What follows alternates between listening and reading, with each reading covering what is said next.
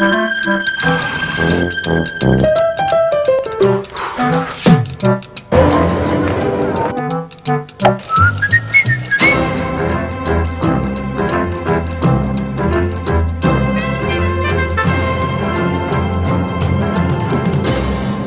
we still practicing, Gav, or is this No, it? this is it. Oh is my word, I can't thing. believe it. It's the big breakfast here on Channel 4 live at 7 o'clock in the morning on Monday, September uh, 28, 1992. I'm Chris. And I'm Gabby. Okay, I, actually, I wish I was Richard.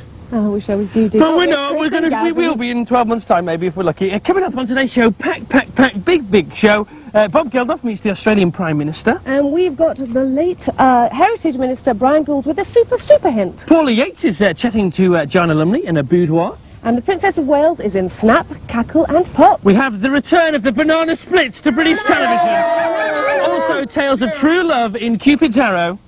And we've got tons, tons more. We've got competitions as well this Absolutely. morning. But now come and have a look in the house. Come and I'll have a look wait in out there. here. Okay, you wait there. I will. Leave her out in the cold. This is our lovely house. It's a real house. This is our lovely hall. This is our lovely living room. Hello. And this is everybody that's going to say good morning to you. And this is our lovely family here from Liverpool. Genuine family. They're real. They're not actors. And they're the Molyneux from Liverpool. We're going to meet them later. But now, it's uh, one minute past seven. This is the big breakfast. Time for our first ever news bulletin uh, with Peter Smith. Good morning. These are the headlines. Cut price royalty. The government plans new savings. Labour and the Tories struggle with their Euro splits. And the latest word on Gaz's knee, it was just a twinge. The government is planning to slash the cost of the royal family. Under the plan reported in today's Guardian, the Queen will start paying tax before the next election. And in future, only the Queen, the Duke of Edinburgh, the Queen Mum and Prince Andrew will get paid for official duties. At the moment, 11 royals are on the civil list. Brian Gould has given the Labour leader John Smith a big headache as the party conference opens in Blackpool today. Gould has quit the shadow cabinet to lead the campaign against closer ties in Europe. It means divisions in the party are likely to widen, but there is some good news for Labour. A new opinion poll in the Telegraph gives them a five-point lead over the Tories. John Major has his problems over Europe too, with the party divided over what to do about the Maastricht Treaty. He's apparently preparing a back me or sack me speech to rally the troops at his party conference next week. Neil Kinnock has found himself a new job as a radio presenter. He'll be standing in for Jimmy Young for a week on BBC Radio 2. But don't worry about the political balance. He'll be followed by Conservative Lord Archer and Liberal Democrat Charles Kennedy. Two football fans have died after falling from an intercity express train near Huntingdon. Police say they may have been drunk, but the train's doors are also being examined. New safety locks are being fitted to all intercity trains after a recent investigation showed that some could open accidentally. Now sports. Britain's come second to Africa in the World Athletics Cup in Havana, despite some impressive performances on the final day. Colin Jackson took the tally of British golds to four by winning the 110 metres hurdles in just over 13 seconds. Gaza says he's feeling fine after being forced to limp out of his league debut for Lazio. He was flattened by a tackle from behind which left him lying on the ground in agony. But Gaza says his knee is okay. he sort of clipped a nerve and my leg went numb. There's nothing. Formula One champion Nigel Mansell has roared into the record books by becoming the first driver to win nine races in a season. But Mansell's teammate Ricardo Patrese had an amazing escape after a spectacular crash in the Portuguese Grand Prix. Now the weather. If you're driving this morning, watch out for patchy fog, especially in the east. It'll be dull and cloudy over most of the country today with thundery showers, but a few sunny spells in Wales and northern England. It'll remain a bit sticky with temperatures up to 19 centigrade, 65 Fahrenheit. The chances of rain range from zero in Manchester to 60% in Belfast. And finally, a pair of pups have been impressing the neighbours with their unique double act. Poppy and Spice haven't quite mastered the classics yet, and despite intensive tuition, their Bach is even worse than their Beethoven. That's the big news, weather and music. Now back to Chris. Hey, Peter Smith, the lovely Peter Smith, the Big Breakfast here on Channel 4, in your face entertainment. Thank you. Uh, the papers today, the papers today, well, they're all led by uh, Gould quitting. Uh, the Guardian says Gould quits over gag on Europe. It's the one about the Englishman, the German, and the Frenchman.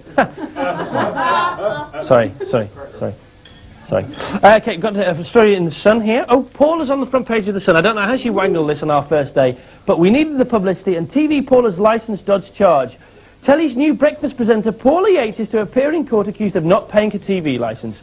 Well, I can just say that she's the only one here that doesn't have a TV licence. Oh, you got, you got your TV licences? Yeah. Just check that. Yeah, there they are, you see. Proof beyond any doubt that we have our TV licences, and we're all going to club together and buy Paula one as well. Also in the Sun today, uh, news that the Princess, Princess Diana won't go has refused an invite to the uh, Page 3 Girl of the Year disco. She's turned the invite down. We offered the princess, who once danced the night away with Hollywood hunk John Travolta, the chance to sip champagne at top London nightclub Stringfellows. Who could turn that down? And she could have lived it up in the VIP suite, had her favourite records played, and met the actors from TV's The Bill and EastEnders. Irresistible. Girls, would you, you, would you go to a Page 3 party? Absolutely not. Boys, would you go to a Page 3 party? But you were told to say no, though, weren't you? Yes. They want to go, really. Uh, what's happening in the Express? I can't remember. Something's happening in the Express. Oh, Neil Kinnock. Former Labour leader Neil Kinnock is to host the Jimmy Young Show on Radio 2 for a week. So he's on the air, but he still hasn't got any. Hey! Mm, sorry.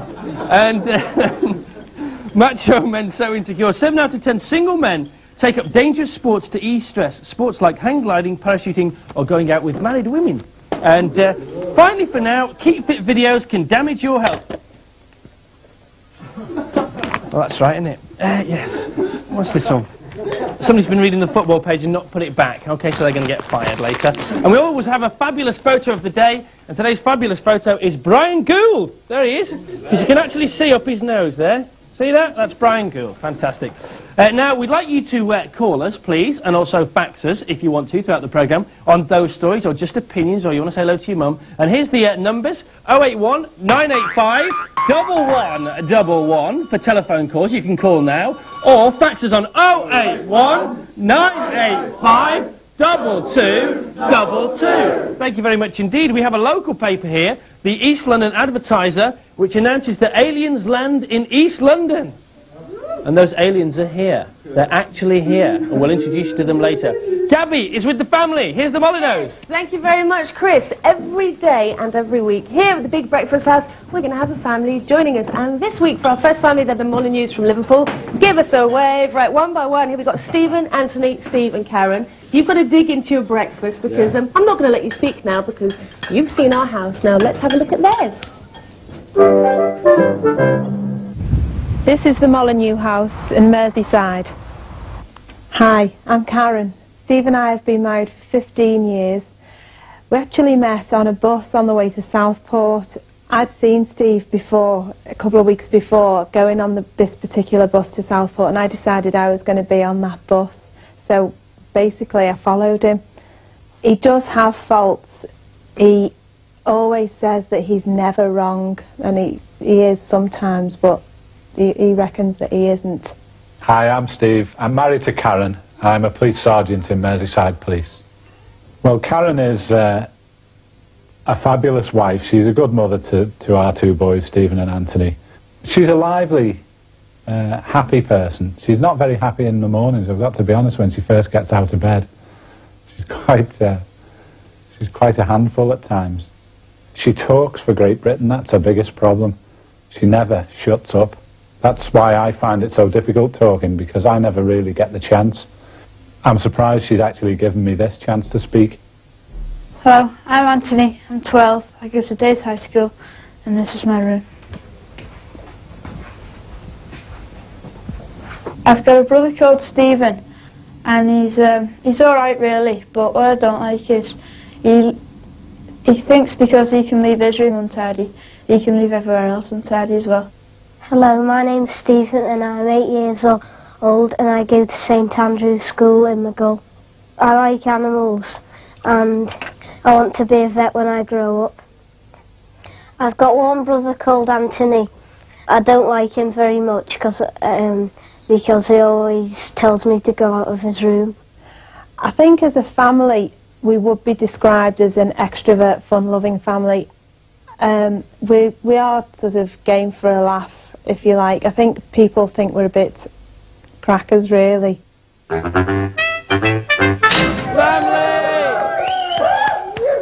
The Molly knows. I've got one brother called Anthony, and I don't like him very much. Uh, got some faxes already. Faxes steaming through. Keep them coming. 081 985 2222. Your faxes. 081 985 1111, your phone calls. Dear Chris, don't you think I'd be a good Minister of Fun from Alf Garnett? That, we made that one up, actually. That wasn't very funny. Why did we do that one? Sacked. Thanks. Um, and uh, what time are the banana splits on? My kids can't wait for Mrs. Jacobs in five. 7.25, Mrs. Jacobs. And now something else your kids may well like, because at uh, 10 minutes past 7 on Monday morning, it's time now for Dennis.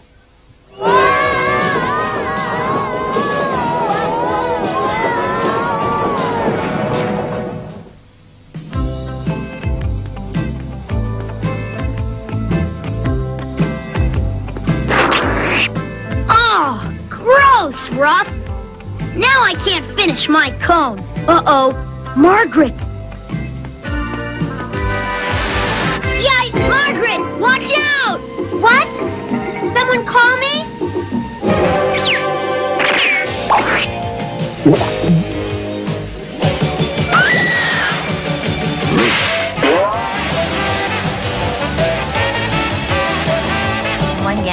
Gallon, 79 cents, one steak, 229, one dog, 250. You saved me! You're a hero, Dennis. I owe you my life. Hey, it was just a shopping cart. He's a hero. Did you see? Did you? He risked his life for me. Cut it out, Margaret. This is embarrassing. A knight in shining armor. I owe him everything. Boy,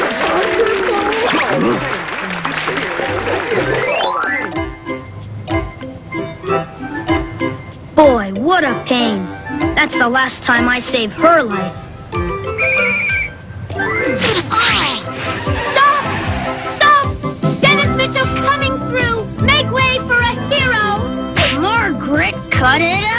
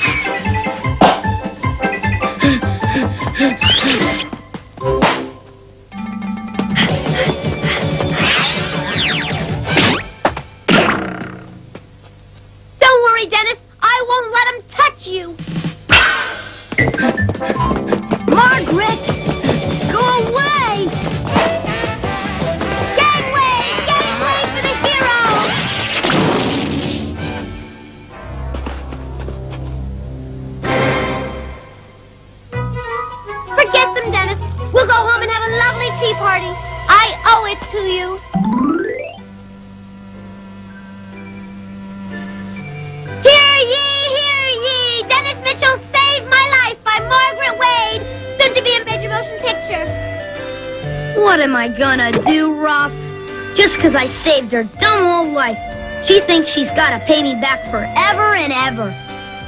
I gotta get rid of her. I wish she'd save my life.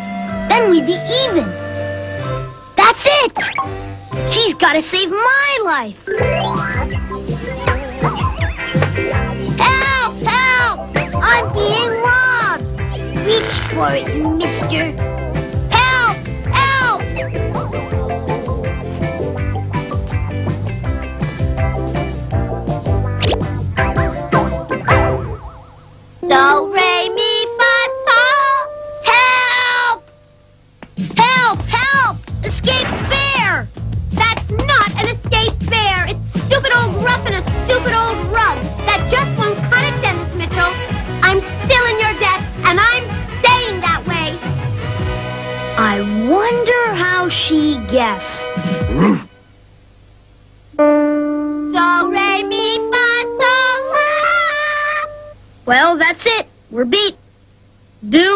Life with Margaret.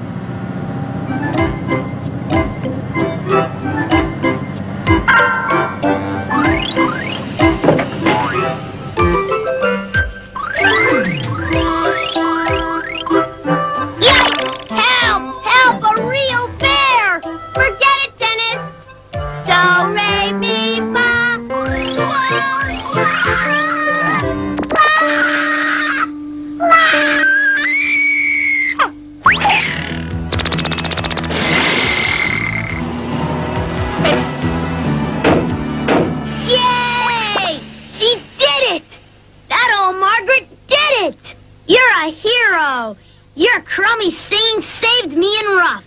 I am? It did? Now we're even. You don't owe me nothing.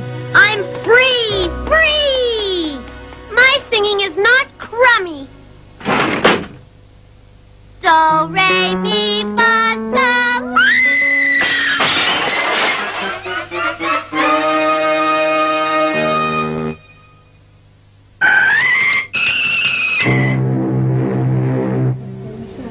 And that was Dennis and more Dennis, this time every morning and every week on The Big Breakfast. Anthony's digging in to his marmalade here. Not Anthony, Stephen. Stephen, I said your wrong name and you're just still there eating your marmalade. Fine, I'll just shut up. Can I have a piece of bread, please, Karen? Thank you very much. She has this wonderful way of throwing bread. Thank you. Yes, I'd like that one over there. Now, uh, every time we go to an advert break, throw it. No, don't. Please don't throw the jam. Every time we go to an advert break, we're going to give you a question. But you don't phone. It's just for fun. Now, everybody's going to say that in a moment. But first of all, the question about the clip is, how does Marco, the serial killer, dispose of his victims? And remember... Don't phone. It's just for fun. Wonderful. This is our Andalusian arsonist, Tonto the Torch. All right. He's really quite safe. They're hanging him Thursday. And this is Marco, the serial killer. A serial killer.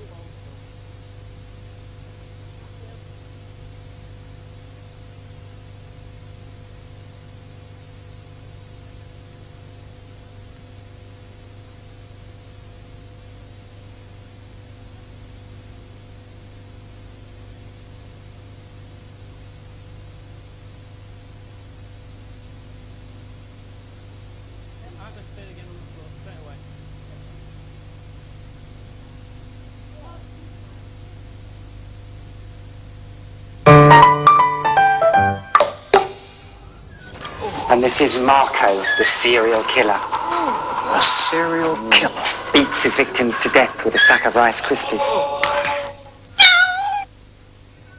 And yes, the question that I asked before the break was, how does Marco the serial killer dispose of his victims? Well, as you just heard there, he hits them over the head with a cereal packet. And that's from Carry On Columbus, which is released on Friday. And I can't wait because I'm a Carry On fan. Rather appropriate, really. Uh, now, I've got some real phone calls. Chris, laughed more in the last eight minutes than I ever did with TVAM from Matthew Marr in Edinburgh. Thank you, Matthew. Cheer.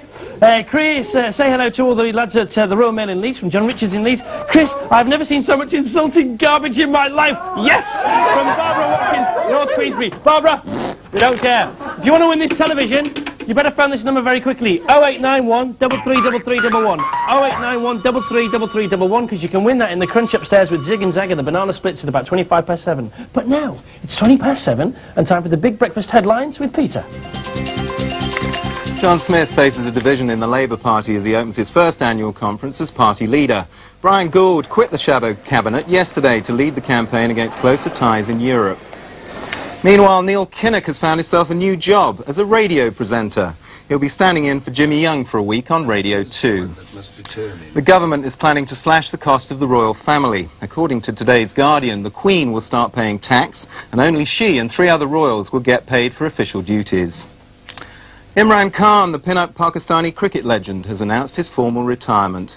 Khan told the Daily Telegraph that after 21 years of cricket, he no longer had any ambition left in the game. Now a quick look at the weather. It will be dull and cloudy with some heavy showers in many parts, though there will be glimpses of sun in Wales and northern England. It'll remain rather muggy, temperatures between 14 and 19 centigrade, 57 to 65 Fahrenheit. The chances of rain range from zero in Manchester to 60% in Belfast. Well, those are the headlines. Now back to Gabby. Thank you very much, Peter. And more news in, in 20 minutes' time. Okay, I've got Dad here. We're in the hall together. Nice cosy chat. Steve, how long have you been married for? 15 years. 15 years. And how long have you been a policeman for? 15. 15 years. But you, what are you now? I'm a sergeant. Sergeant. Was it five years? Five ago? years I've been a sergeant. No, but you haven't been a policeman all your life, though, have you? What were you No, I was a motor mechanic. I worked on Fords. No, that's not the one I want to know about. The other one, other job. I was, uh, I've worked for Bird's Eye on a bean harvesting machine. What really goes into those frozen foods? Or shouldn't I ask? You're There's a lot also... Yeah, no, don't tell me, don't tell me. You're also a bit of a DIY fanatic, aren't you? Uh, I can do a bit DIY, yeah. What you've you been doing at home recently?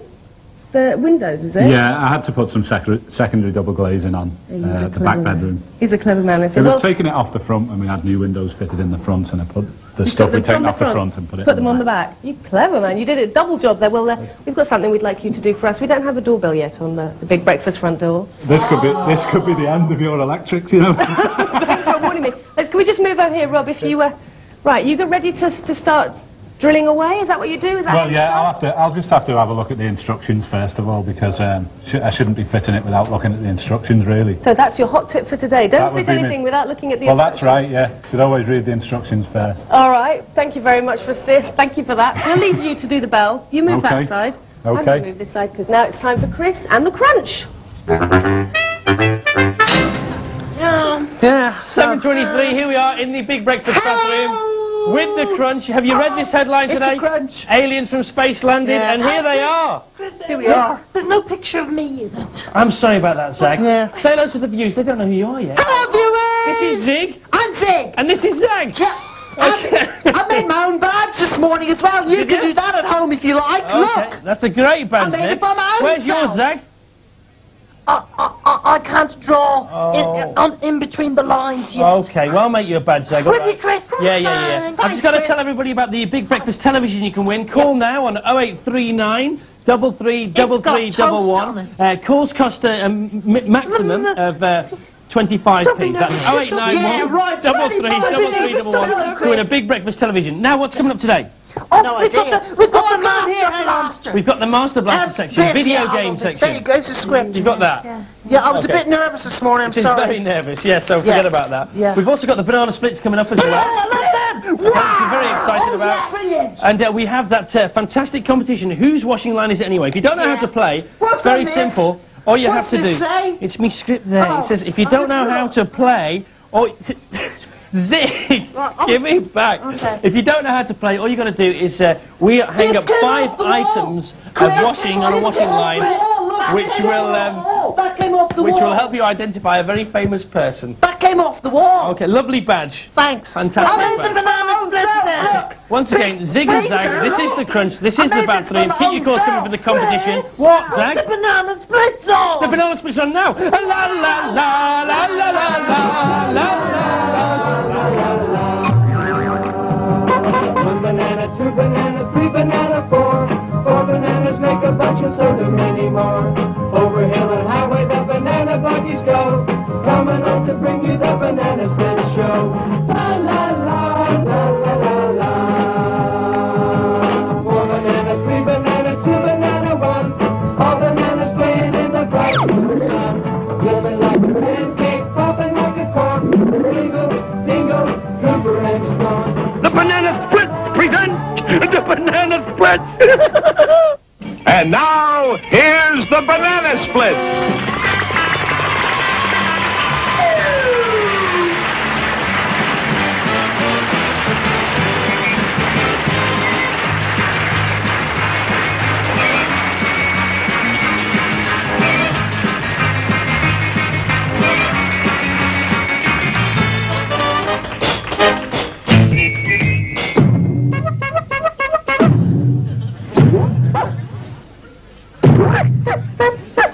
Okay now, okay. It's time for official Banana Splits Club business. Bingo, as official temporary second banana, please check attendance. Yeah, but we all know who's here, Flea. Why don't I just check off the names of the members who aren't here? Hey, how are you going to do that, Bingo? Well, I'll just say, all the members of the Banana Splits who aren't here, do not raise your hands. I get it. And the members who aren't here won't raise their hands. That's it. Then all Bingo will have to do is count the hands that aren't raised and hold it. Now you guys got me talking silly. Please, just call the roll. Well, okay, if you say so. Here, roll. Come on, roll. Here, roll. Come on, roll. Here, roll. Here, roll, baby. Here, sweet roll. You know something? Someday I'm going to roll these bananas into a basketball and bounce them the heck out of here. Hey, Drooper, take out the trash.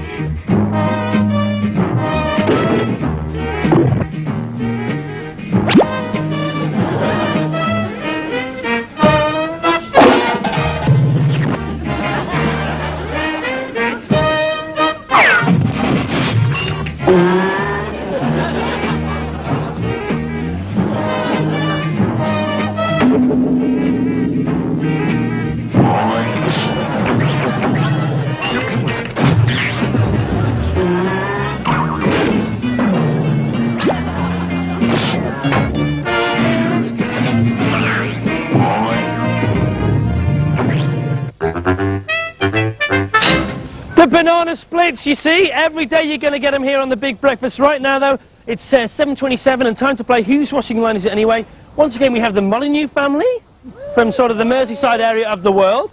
Uh, Can you say hello to them a bit louder, please? Make them they're very nervous. Make them feel welcome. Look, they're shaking with cold.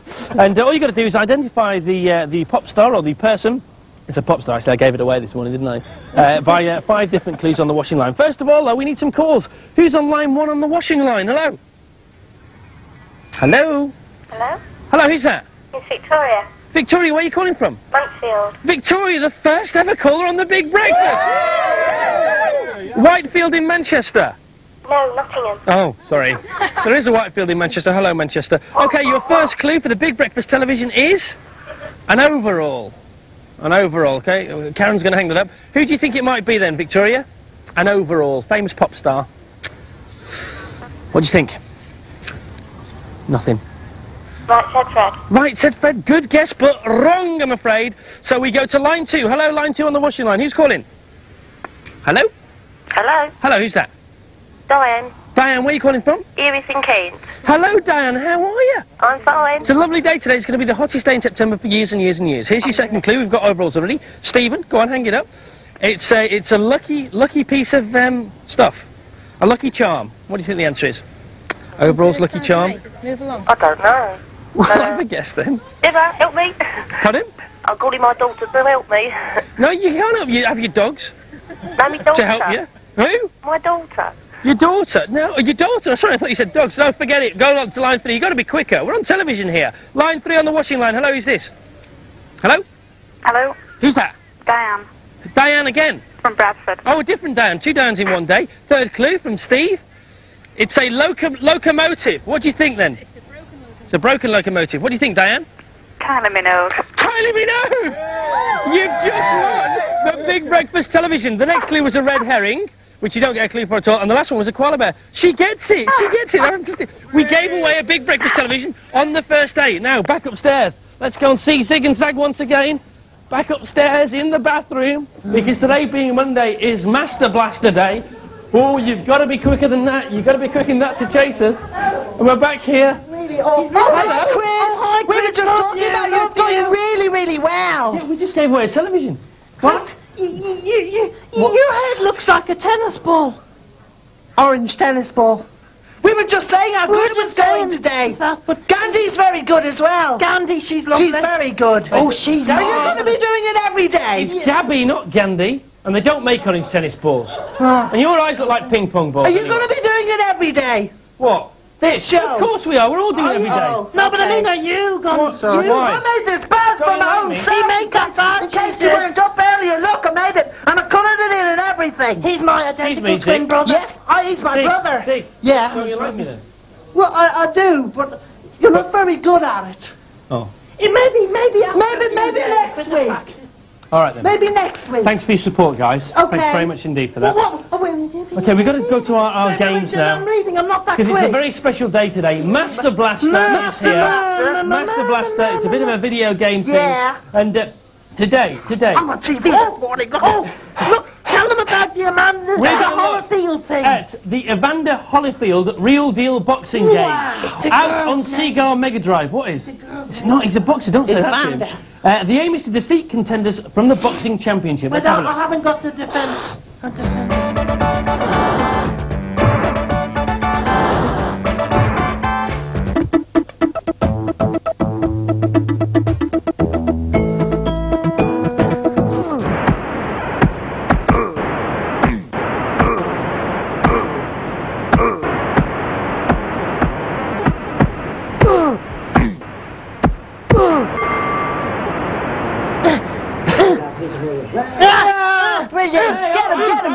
Video game, not a real game. Yeah. It's Chris, I didn't mean what I said earlier. I'm Okay. sorry. Are we friends again? Yeah, Chris, Chris, it's a cool game because you, you, you, you can box the guy and he hits you back and then you... Yeah. And nobody gets hurt, which is a real good And the thing about it. noises are really cool. They're very I cool. don't know, I don't know, I don't know if I like it that very much. Okay, do- what do we do? We- Is that a It's a thumbs bit up or a medical, thumbs down? actually, because a lot of people get their head bashed in. I like it because it's it's real.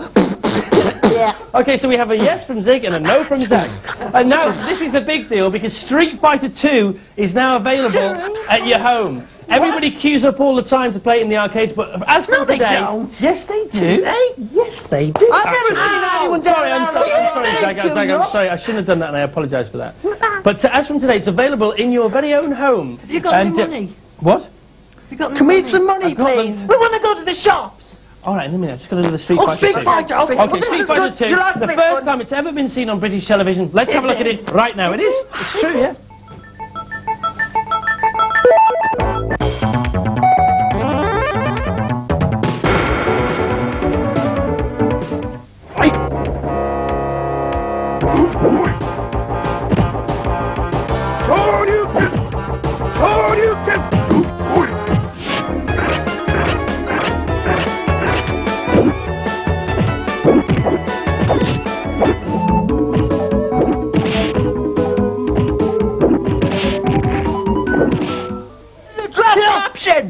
Barry, a dress caption for Zig, goodness don't tell them what I just said when we weren't on. Do you know? 'cause it's a Oh, secret. do you know you can die 150 different ways in that game? Yeah, a very happy game, really, isn't it? yeah. I mean, are we into the violence? Val, in these games? where's your dress Why don't they make happy video games? Well, this is live television, you know. Because Oh. it's pretty kung fu and Well, if you think uh, Street Fighter 2 is cool, it's now available in your home as from today. Here it is. And later on in the Thanks, week, Val. we're going to give 10 copies of that game away on the Crunch.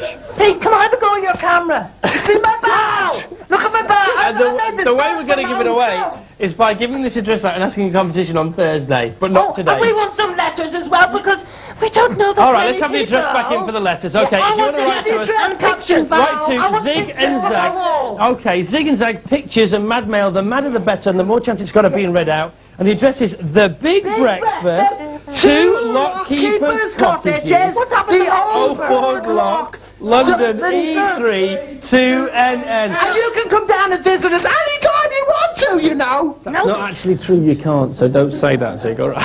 Who- Who's the lockkeeper? Any? Can I be the Doesn't matter, lockkeeper? See me, we've ask got to for go me. now. I want to be the got to go lockkeeper. It's uh, 7.35 and to be the Channel 4. Channel 4, altogether Channel 4, and you're watching the Big Breakfast. Back to you, Gandhi, in the kitchen. But I love having a big breakfast because after a big breakfast, I feel like a new man. I like breakfast, but my wife won't let me have very much. Can I have a big breakfast? You should always have a big breakfast. I think you know what I'm saying. You are not going to get me in that bathroom ever, ever, ever. Anyway, keep your faxes coming in. It says one here from Worksop. It says, Chris and Gabby, well done with breakfast. Here's a toast from John and Kate Coombs. Look, they faxed us a piece of toast. Isn't that nice? And, yes, thank you very much. You're all supposed to be impressed with that. And also say hello to all vegetarians out there from Helen Beach in Ealing. Thank you, Helen. Hello, vegetarians! Thank you very much. They're quick here, aren't they? It's early this morning. Right, if you want to fax us or phone us, here is a telephone number. All together now, 081 985 1111. Fax 081 985 2222. Oh, I love being bossy like that. Right, now here is the question about the clip. What proposition does Robin put to Marion? But remember, don't phone, it's just for fun.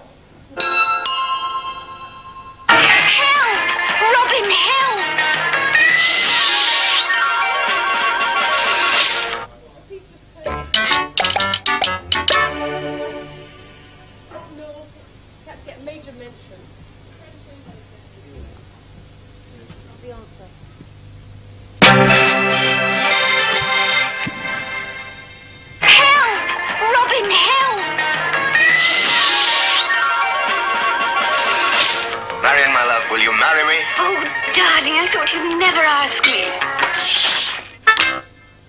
No. And the question was, what proposition did Robin put to Marion? And he asked her to marry him. Oh, isn't that nice? Now, uh, if you could tell us what's coming up in the next 20 minutes, but before you do, I've got a, fax, a phone call here. Chris, you're talking too fast, I can't understand you. What's coming up in the Who's next that from? That's from Mrs. Baker. Alias Charlie. Brighton.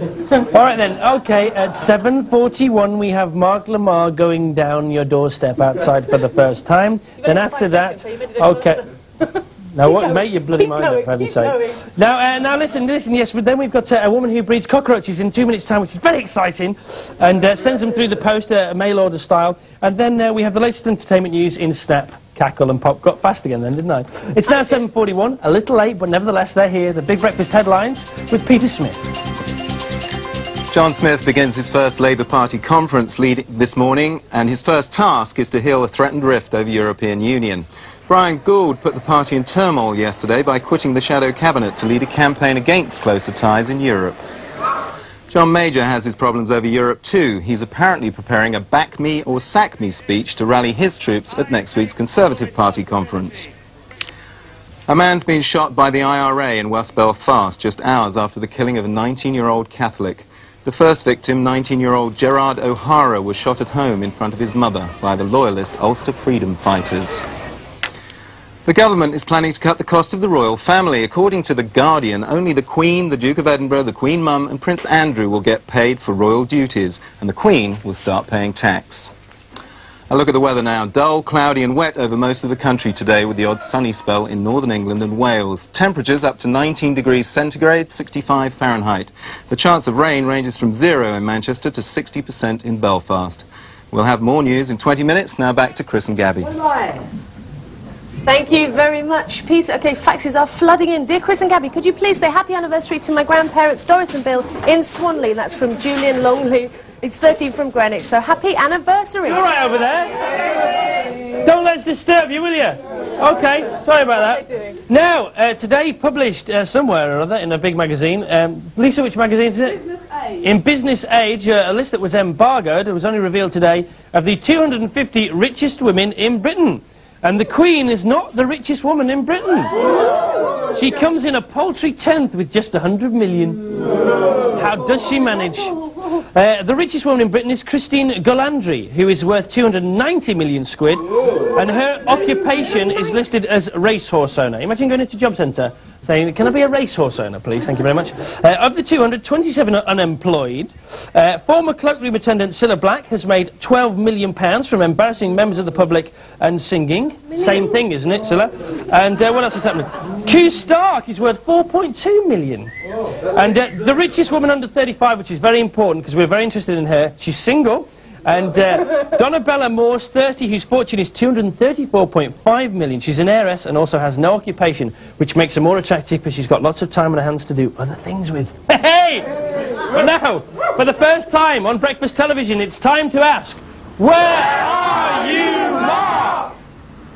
I'm in uh, Leeds, and the sorry, I, was, I didn't know where the queue was then, so I'm all over the place. And the reason we're here is to find the worst traffic jam in Britain, and this is the A, the A58. And uh, what we've done is come here with some people to entertain the people in this traffic jam, which is a particularly bad one. This is Swami Zach. Hello, Swami. Hello, um, tell tell the people what you do. You you have a good laugh, This basically. morning we're going to do a laughing meditation with the lucky driver who's He tries to cheer people up by having a, a good old giggle, and uh, it does get. If you want to start having a laugh now, and I'll talk to this bloke here. Hello, mate. Hello, uh, Mark Lamarr, the Big Breakfast. Do you, do you want to open your other window, just so we can uh, we can get a bit of him? I know this is a bit of a job. If I get into your car, good morning. Uh, sorry, what's your name? John. John. Hello, John. And where were you off to? Work. right. Do you want to do you want to let Swami in because he'll cheer you up on the way to work? This is basically what we want to do. Just get people who, are who have to sit in this morning every single day. And uh, what Swami's doing is uh, is having a laugh to try and cheer people up. I think. but I imagine it'll get quite irritating. I want to punch his face in, to be honest. But uh, oh, look, it started already. It's infectious. Yes, it is. Go on, have a good old, have a good, have a good let go, basically. You just picture your worst problem that you've got today, and you laugh at it. I think you're definitely the worst problem he's have. So do you mind taking him off to work? No. All right, then we'll see you later on. The, uh, the traffic the lights have changed. Is there someone want to give me the card? Where's the card? Uh, if, if anyone knows of a worse traffic jam, obviously not one that's going to be worse because you've got nutters like Swami in there, write to me on the Big Breakfast, 2 Lockkeepers Cottages, Old Ford Lock, London E E3 2NN, which I'm sure you've had all day, that thing. And uh, I'll, I'll speak to you later on. We've got other things going on. Uh, so have a good time, Gabby and Chris, obviously. Nice to see you both. Thank you very much, Marks. Uh, Steve's here, and he's still f- trying to fix the doorbell to the door. Steve, the dad from the family. How are you doing, Steve? I'm not too bad, just got through the wall there. Okay, just got through the wall. Apparently, this doorbell plays 35 tunes once it's fixed, and we can't wait for that. It's uh, just gone quarter to eight, and joining me now, and I want to ripple, please, is uh, Virginia Cheeseman. That's a lovely ripple, yes, a lovely little, gentle ripple in the morning. Now, Virginia, why don't you tell everybody what you're here for? I'm here to show you Alf the hissing cockroach. Not only that, but uh, as well as showing us Alf the hissing cockroach, who is huge for a cockroach, and you're going to love this over your breakfast. But also, Virginia, you in fact do send these through mail order if people want cockroaches. Yes, yes, Now, I who, do. you want a mail order cockroach? Right, she'll tell you how much they are. How much are they? Oh, they're a vast fortune. Three pounds for an adult and 75p for a baby one. What about how much? Do you get discount if you buy a family? Oh, yes, yes, yeah. Do you ever send them out in families? Oh, yes, yeah, people like to And do, do they breed? Oh, yeah, they breed pretty well, yes. Okay, and uh, why did you why did you first get in, interested in cockroaches? And are you having us on, or is this genuine? No, this is genuine. I love them. I think they're great. I How, really though? do. I really, Were you really not think they're to lovely. one and hear that great crack of the shell underneath no, I'm your not at all. No, thank you, no. Okay, so when was the first time you came into contact with a cockroach? Was it a blind date or? No, no. Probably when I worked at London Butterfly House. Okay, because that's, right. where they were. Yeah. So should we reveal Alf to the world? Yes, let's reveal Okay, him. this is Alf. You ready for this? There he is. Alf the cockroach. Isn't he fantastic? Alf will hiss now. Yeah, let's see if we can get him. Yeah. Oh, he's a bit cold. Go on. Oh, there we are. There you go. That's Alf saying good morning, Britain. That's what he's saying to you. Good morning. What does Alf eat then? Alf, well, he eats just about anything, but he loves bananas. Just about anybody. He no, no, no, just okay. about anything. He No, loves he's very bananas. nice. He's very gentle. He looks fantastic. Look, I'll stroke him. There you go. I've never stroked a cockroach before in my life, but he's a nice bloke. I like him. He is. He's okay, and how long do they live for? Um, several years, probably about five, five years. Okay, and on, on average, how many orders would you get for uh, cockroaches every month? Not a lot, I have to be honest. Mostly my business is stick insects and tarantulas. Okay, uh, actually, when was the last time you got a cockroach order, Virginia? Yesterday. You did get one? Yeah. Okay, we believe you, we believe you. So, uh, how long, uh, is, how old is Alf, rather? He's three inches long, but how old Well, Alf has only just become an adult, so he's got about five years to live now.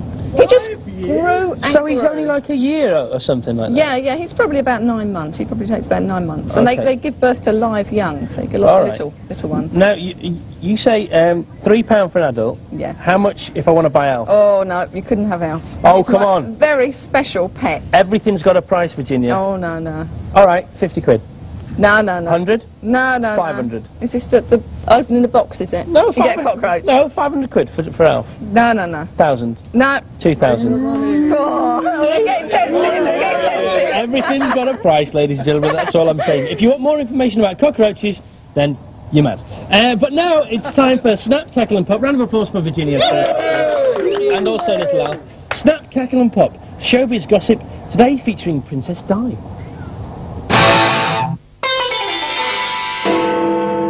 Diana Gate. The story continues. First the Squidgy tape, now Squidgy the single. It's the royal rave record we've all been waiting for.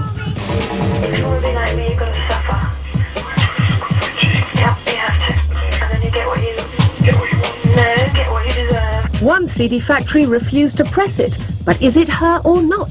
Decide for yourself. Squidgy's out in two weeks.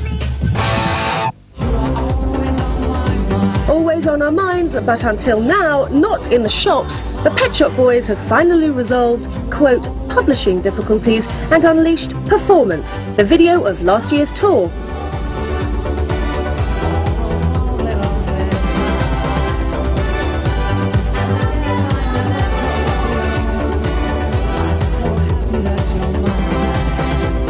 And word has it that Pop's own Butch Cassidy and the Sundance Kid are currently hard at work on a new LP.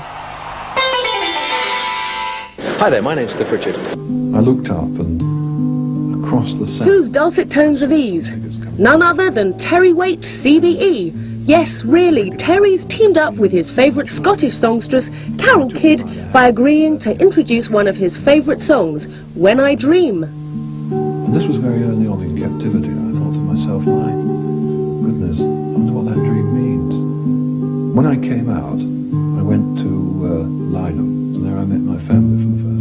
Released next week, all profits go to charity. Hi there, my name's Cliff Richard. My album is called Accessory. Oh, I'll start again. If you thought we had ABBA fever bad in Britain, it's nothing compared to the Swedes. Erasure's ABBA-esque has been number one for 15 weeks. Starting a tour this week and very keen to tell us about it, here's Cliff. Whether or not we have genuinely got probably the widest stage that ever has gone on tour. Our stage is 90 foot wide. When the Shads and I went on tour originally, you know, we used to have lighting, but it was either on or off.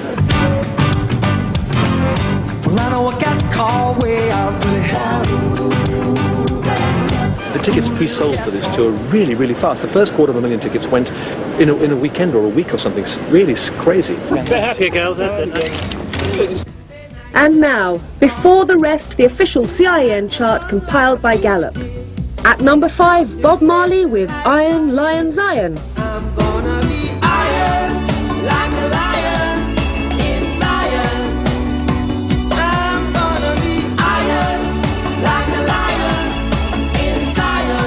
Tasmin Archer's Not Sleeping and shoots to number four.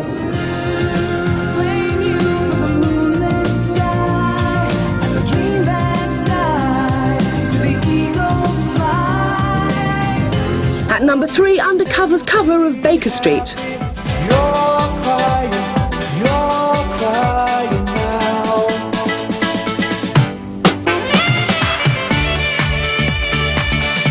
Dr. Alban is banned from the top at number two.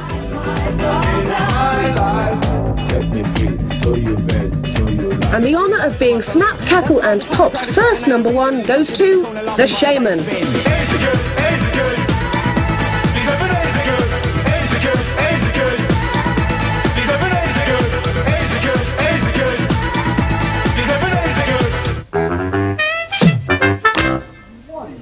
7.52. Isn't she lovely, Jude? We love her. 7.52, that was Snap, Cackle and Pop, and there'll be more at the same time tomorrow. Hello and good morning to the girls. Hello, girls. Hello and good morning to the boys. Hello, boys. This is great. I love this job.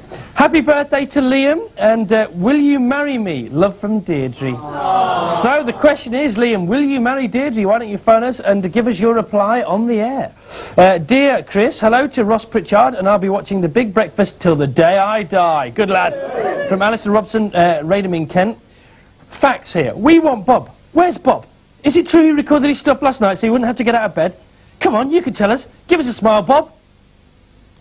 That's what it says. And uh, Chris, uh, the show's fantastic from North Ealing. If you want to, to send us some more faxes or phone calls, please do. Here is the phone number. It is 081 985 double one double one. 081 985 double one double one and 081 985 double two double two for your um, faxes. Okay. All right, Bob. Okay, uh, I'll just go back to uh, read the question about the clip now, which is quite difficult, in fact.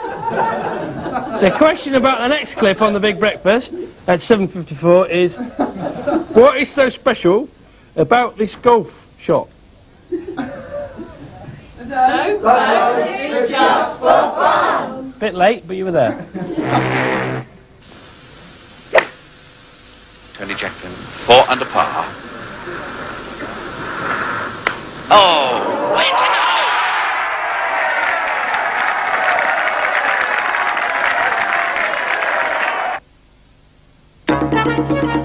go!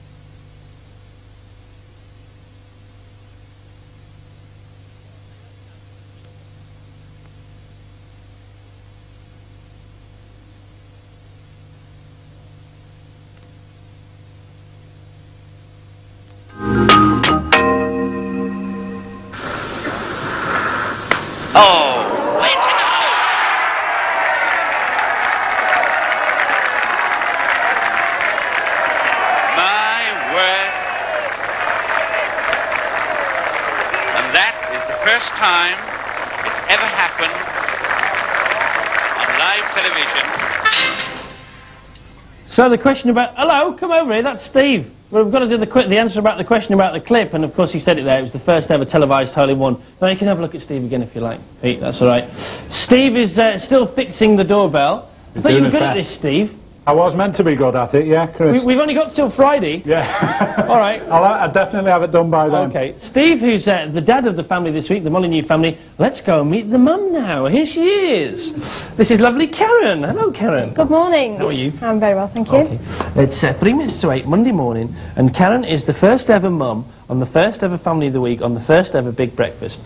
So, Karen, whereabouts in uh, Merseyside are you from? It's Maghull. McGull? Yeah, Aintree. Anyone who knows the Grand National Aintree Racecourse, not far from there. Did you ever go to Aintree? No, I don't, because I don't like horse racing. But it's also like um, like when you live in London, you know, if you live here, you never go to, to see Buckingham Palace or Well, that's you know. right. That's yeah. Yeah, when you visit, you always do it all in a day, don't you? That's I mean, right, I've yeah. never been south of the river in London. Do you ever go to Aintree to watch uh, like Michael Jackson when he played there and all No, that no, I would have liked to, but I mean, tickets are even hard to come by if you live there. So. Okay.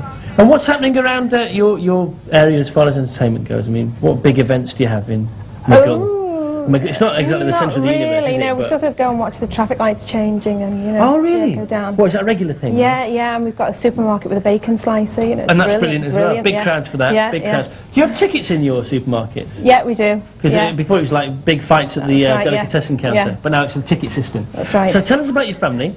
Are you happy with the with the way things are going? Are you happy with the boys? Are they? Brilliant, yeah, it's great. Anthony was a bit nervous about the cockroach before.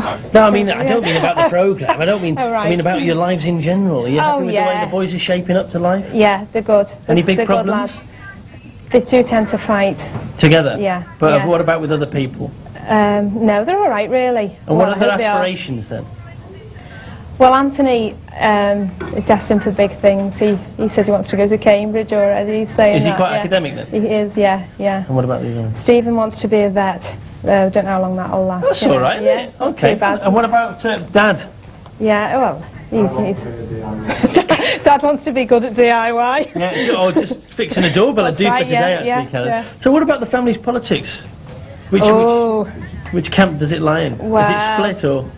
I don't know really. Well, I don't really like talking about politics because I don't understand it. But where would you vote if you had to vote? I mean, what do you think of Brian Gill polling and... Da- hey, hey! bit of weird, bit of humour. Too fast for me. Too fast for me. What do you think about David Miller? resigning? Miller? David Miller. Sorry. David do you think Miller. he should have gone?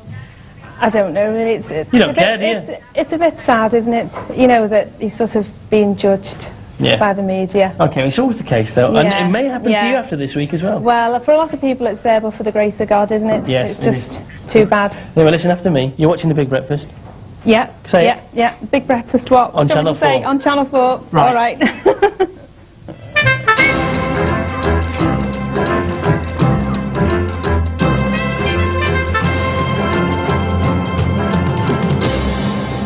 Welcome back to the Big Breakfast. Well, I've actually come outside because uh, we see Pete Smith talking about the weather, but because this is a house and we can come outside, this is it. The real weather. It's one of the warmest days forever. Come out here, Chris, because we're going to do the official turning on. Of the milk bottle fountain. Look at that. I can't believe this. If you just step back as well, Liz, floor manager Liz is going to do the official turning on. Three, two, one. Go! Yes, there it is. Yay! We're happening Absolutely now. This is it. It's all going on. Coming up, we've still got to go down your doorstep again with Mark Lamarr and Bob Geldof will be interviewing Paul Keating. Okay, Paula Yates is going to chat to Joanna Lumley, but now it's the top of the hour. Top of the hour. It's 8 o'clock, top of the morning to you, and time for the big news with uh, Peter Smith. These are the headlines. Labour and the Tories try to tackle divisions over Europe. The government plans to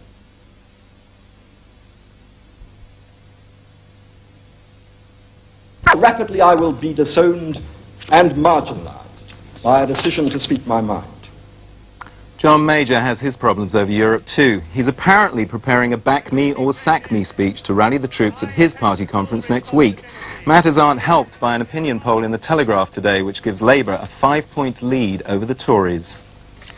The government's planning measures to cut the cost of the royal family. Under the plan reported in today's Guardian, the Queen will start paying tax before the next election. And in future, only the Queen, the Duke of Edinburgh, the Queen Mum and Prince Andrew will get paid for official duties. At the moment, there are 11 royals on the civil list. It's been a violent night in Belfast. A man's been shot by the IRA only hours after the murder of a young Catholic man in the north of the city. 19-year-old Gerard O'Hara was murdered last night by the loyalist Ulster freedom fighters in front of his mum. Around six paratroopers are expected to appear in court in Northern Ireland today, charged with assault. Up to 20 soldiers have been questioned by police investigating allegations that paras went on the rampage in Coalisland after one of their colleagues was badly wounded by an IRA bomb. If having great legs could make you President of the United States, then Dem- Democratic challenger Bill Clinton is home and dry. When asked who looks best in jogging shorts, voters plumped two to one for the Democratic challenger. Imran Khan, the pin-up Pakistani cricket legend, has announced his formal retirement for the second time. Khan told the Daily Telegraph that after 21 years of cricket, he no longer had any ambition left in the game. Britain has come second to, eh, to Africa in the World Athletics Cup in Havana, despite some impressive performances on the final day. Colin Jackson took the tally of British goals to four by winning the 110 metres hurdles in just over 13 seconds. The German football manager Franz Beckenbauer has astonished his fans by revealing his belief in reincarnation. The man they call Der Kaiser claims to have been a plant in previous life. Now the weather, if you're driving this morning, watch out for patchy fog, especially in the east. It'll be dull and cloudy over most of the country today, with thundery showers in many places, though there may be sunny spells in Wales and northern England. It'll be muggy with temperatures up to 19 centigrade, 65 Fahrenheit. The chances of rain, zero in Manchester, 10% in Plymouth and Newcastle, 20 in London, 30 in Cardiff and Southampton, 50 in Glasgow, and 60% in Belfast. That's the news. Now back to Chris and Gabby. Thank you very much, Peter. God has given us a lovely day for our first ever show. Gabby, what you doing? Was that really him? Who, Geldof? Where is he? I haven't seen him yet. Yeah, I it was saw him. That was him. Bob, Big Bad Bob, here now, right now, on Monday morning. So, uh, birthdays today. If you have a birthday, happy birthday to you. Happy birthday. Happy birthday. Thanks, gang. um, Bridget, but too late now. Brigitte Bardot, who is a, a, a fanciful French woman, so we've got some French fancies on the show. What? I don't know why that happened. Um, it's 58. Sorry, Paula. Sorry, I just hit Paula in the head with uh, a French fancy. Um, Sylvia Kristel, whoever she is, is 40 years old. Got no idea who she is. Manuel. Oh, you all know that. Hey, hey. Um, Benny King. It's not got a birthday today. I just wanted to do that. And Helen. No, he, he has. He's, he's uh, 45 if he's a day. And uh, Helen Shapiro, 46, whose biggest hit was. Walking back to happiness. Well done, that man, Val. Okay. Uh, now, that's about it for me. You got any faxes there? Yes, we have actually. There's one here which is very apt. The second fax this morning from Anne. It says, Where is Paula Yates? I can't wait. ma- wait. She's saying something she can't speak. That's what she's trying to say. And Paula Yates is right over here right now, and I want a round of applause for Paula. If only because she's the boss's wife. Uh, primarily, of course, because she's Paula Yates. So, Paula, you uh, you like to keep a low profile, don't Yes, you? I am. In fact, at the, at the moment, I'm keeping a very low profile. I'm a fugitive from the law. Just 13 million readers, that's all. in the sun. she's here. She's here. If you want to, don't bother get sending out an APB. She's Yeah, here. You can just have me after the show. Take me, guys. Nothing, It's nothing special. Uh, so, uh, what, what are you doing on this show, Paula? Well, today I'm going to be talking to Joanna Lumley, who's upstairs at the moment, Ooh. preparing herself for the in-depth probing I'm going to give her. And, uh, and then after that, uh, tomorrow we've got Patrick Swayze. We've got gorgeous Cecil Parkinson on Wednesday. Yeah. And there's people like Peter Gabriel, all kinds of people. Are you going to do Arnold Schwarzenegger? Do Yeah. I hear? Fantastic. Yeah. This is it. It's showbiz. It's happening. It's uh, Paula in her boudoir upstairs at about 20 to 9 this morning. But now it's time to say... Where are you, Mark? Where are you, Mark? I'm, uh, I'm still in Rio de Janeiro for people who weren't watching earlier. Not really, just a little joke there for Monday morning. We're in, we're in Leeds, and the reason we're here is to try and find uh, the biggest traffic jam in the country. This is the biggest one in Leeds. This is on the A something, and it leads to like exotic places like Otley and Harrogate and stuff like that. Um, look, have a look up there, Phil. Can I have a look up there? Look how far this stretches. Apparently, if you took each car in this traffic jam and put them end to end, they would stretch up to about there. So uh, this is. Uh, oh, I'm really fond of this one. This, this is uh, Roger Quick, who's our accordion player. And what we're going to do is get him in one of the cars. It's a bit miserable here, you know. People have to sit here every day and try and cheer some people up. And she doesn't look very happy. So maybe maybe we'll try this one. If you want to get, you get have a bit of a tune there, if you could, Roger, that'd be nice. And if you want to try and get round, hello. She doesn't look very happy at all, does she? Hello, I'm Mark Lamarr from the Big Breakfast. You're. Jill Robert Shaw. Hello, Jill. Do you mind if uh, Roger gets in the car with you? Because uh, it'll cheer you up on the way to work, hopefully. I'm cheered up, thank you. Yeah? I don't know if I've not been introduced. It's Roger. if you let him in, you'll get to know each other a little bit. Where's he going? Where's he, he's going wherever you're going. He's your little gift for the day from Channel 4. No, thank you. No? All right then, well, we'll try and get someone else. But thanks for your smiley anyway. We need someone who's a bit more miserable. There's one, but he's one on the crew. Oh, this bloke's going to be miserable. Look at the state of this car. Hello, mate. I'm Marlon Lamarr from the Big Breakfast. Get that window down. You can just push these windows down on knackered old cars. This Yeah. is Roger. We, we let Roger in the car. Yeah. you'll have to, uh, yeah, no, no, let him in. Open the door. That's how, he's not going to climb through the window, is he, with an accordion? What's your name? Keith. Keith, and where are you going, Keith? Work. Right, in fact, Roger, keep playing because you're off now. Right. There you go. Take him to work and uh, show him to your mates. All right. No, just say you picked him up over the weekend or something. Um, if you have got a, a bigger traffic jam near you, hold on, I'll do that. Thank you very much. If you've got a traffic jam near you which you think is better than this one, and while we've been here, actually, quite interestingly, we found uh, some TV licences, and this one says uh, Miss P Yates. But um, I'm going to flog that one down and mark it later on. If you have got a bigger, a bigger one near you, not a bigger TV licence, obviously, because that'd be stupid, but a bigger, uh, what are they call traffic jams, then right to the big breakfast, two Lock Keepers Cottages, Old Ford Lock, London, E E3 2NN. See you later. Lamarr! Down your doorstep, and he'll just turn up on your doorstep if you ask him to by writing to that address. He's here, the scoundrel, the vagabond. You are not worthy. No, we're not worthy. This is Bob Geldof, who is uh, going to be doing the serious part of the show. Uh, this is rubbish.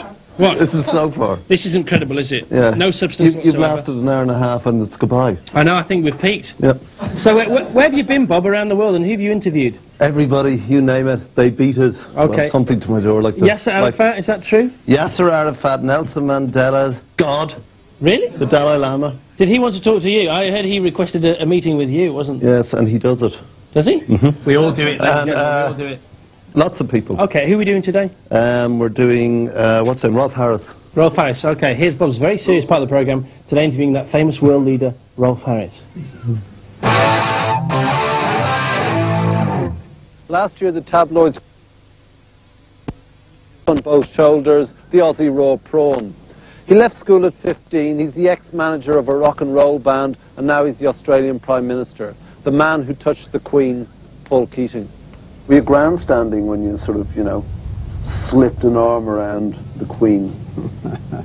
No, no, I, I, I- I don't think, in fact, I even touched the Queen, but mm. I was trying to guide her through an audience where, to people I thought she knew or would be interesting for her to meet. And, and I, I, sh- I should have hoped that the Queen was, and I think the Queen might have been touched by the fact that, that uh, her Prime Minister here took that much interest to guide her to the most, you know, interesting people and people she'd known, and and uh, she enjoyed. I thought she had a very, she enjoyed the visit, and uh, it was only for the sort of tabloids in Britain that um, I think uh, sort of put a discordant note to the occasion. Do you really, I mean, personally or constitutionally believe that you are her Prime Minister here? Well, this is, uh, I mean, I'm the, she's the head of state, uh, in practical terms as the Governor-General of Australia, who at the moment, of course, was a former Labor Minister in the cabinet I served with through the 1980s, and in practical terms, the Government of Australia uh, is run by the, the Cabinet of Australia, and its decisions are assented to by the Governor-General, her deputy. But I you personally would like to have a republic. I think it's inevitable that Australia will be a republic, that is true. But before that'll happen, Australians will need to know what the style of the constitutional arrangements will be. And there's been no, no debate about this in this country. No debate. I mean, there's been vague interest in the subject, but really no debate. And before Australians would ever agree to a new structure, they want to know about the structure, whether, whether the president is popularly elected, whether he, as say the French president does, has the right to dismiss prime ministers and governments, or whether we should keep the president a ceremonial person who is appointed by the elected government or elected by the Houses of Parliament. These are all the questions which need to be addressed but never have been. But do you resent the Queen coming here? Well, she comes only ir- irregularly. Would you resent that? No, I don't think Not so. Not personally, No, from I don't know. It's not resented. No, I think I think I think the Queen has been regarded as uh, entirely conscientious and well liked by Australians, but they do wonder about the relevance of a, a, a constitutional arrangement which, which relies upon the Queen of Australia being largely resident on the other side of the globe. Why don't you have a Queen of Australia that's resident here? Because I don't think Her Majesty wants to live here. No, why don't you elect a Queen of Australia? Well, that's, that's the constitutional point again. What is and the same about the same about the flag. I mean, getting around with the flag of another country in the corner of your It's flag. not another country, it's your country. No, but the, fl- the, the Union Jack is the flag of Britain. It's the flag of Australia with the, with the Southern No, Cross. it's the current flag. It's the current flag. You like British people? Well, it's not that long ago when, when the sort of toffs in Britain who ran the civil service and the government regarded this as a colony and. But you were a colony. pat- yeah, but they pat- no long after we were a colony, where they patronised people here. Well, they're not into patronage here. with Paul Keating, the Australian PM, and more from them tomorrow morning. Now, this is the third day of freedom for a woman who thought that she would never see freedom again. She was sentenced to life imprisonment in 1989 for the murder of her husband. But everything changed last Friday when she was released. And Kiranjit Ahluwalia, thank you so much for joining us this morning. I know it's uh, your first television show, and also you don't have a voice, do you? Please do. Right, I'll talk very quietly as well to you. Now, would you mind, we'll talk about the, the present in a moment, would you mind taking us back to the past and the marriage and what you were suffering? My marriage was very unhappiness. Very, there was so many unhappiness and uh, violence, and uh, in the end, it was getting worse day by day, and uh, I was very depressed, very much depressed. And a build-up of events, you, you then, what did you do to your husband? I tried to talk with him, and I asked him to give me five minutes to talk. And let's discuss about our future. All the time he came and just beat me, shout me, and banging the furniture. And sometimes he upset my children. And uh, it was getting worse day by day, and it was too much in the end for me. Yeah. And, uh, So you were then, you then set, set fire to him, didn't you? And you were imprisoned, they said, for murder. yeah, they said murder. Now, your, your family and friends felt very strongly about this. What did they do? In the beginning, I used to tell my family and uh, my husband's family. They all knew about him. He was very violent and he can lost his temper very quick. They, nobody helped me. I tried to get divorced and told my family. They just keep telling me, you know, try hard. I think it's uh, because of our culture. They was under, you know, that. Uh, They say you have to stay married, don't you? Stay. And every time, if I try to tell my husband I wanted to get divorced, you know, and he every time he apologizes and cry in front of me and put pressure on my family. I won't touch her again. I won't touch her again. And but, but people knew what he was doing. People knew that, you know. Knew that. Now, then, you- then you were imprisoned and um, for his murder, um, and then there was a retrial. Yeah. And it's now been the. It was now manslaughter you were accused with. Yeah. Now, why was this trial so different to the original trial? My original trial was a disaster. You know, I was very depressed, and uh, there wasn't uh, enough uh, medical reports, and I couldn't speak. I was still under you know very depressed state, and uh, there wasn't enough uh, evidences. Even my family, you know, they wanted to go for uh, evidence. You know, my solicitor said they don't need uh, any. So then they retried and, and it's now manslaughter, and you were actually released on Friday. So you've, Yeah. you were over three years in prison, Over weren't you? three you? years, four months, I spent in prison. Well, we won't talk about the time you spent in prison, but the time. What have you done since you've been released? Um, apart from you know, uh, lots of people, you know, they are coming to see me, and they are so happy. They are, they they got tear in their eyes, you know, because they they are so happy for me, for my children, for my family. And my telephone, my sister telephone is 24 hour on, and so many people they don't know my sister's telephone number and address. I'm getting lots of flowers and drink, it's wine. wonderful. It's uh, you know. What, what advice would you give to women who are suffering the same way that you suffered? The most important thing I wanted to tell them, don't suffer in their house, don't feel ashamed or embarrassed for anything, and they deserve happiness. They should go for to the police and our advice center so they can get help and support. Well, thank you very much, and thank you so much for joining us being our first guest on the Big Breakfast. Thank you. Chris. 17 minutes past 8, you're watching The Big Breakfast right here on Channel 4. Time for another question about the clip now. The question about this clip, and I hope you're ready for your bit on this bit, thank you very much, is what happens to the lieutenant's helmet? But remember, Don't phone, it's just for fun. they did it. Bravo, Issimo! Well, let's make a start, eh? Up and over to glory. Last one in Berlin's a rotten egg. Give me your helmet, Lieutenant. Thank you.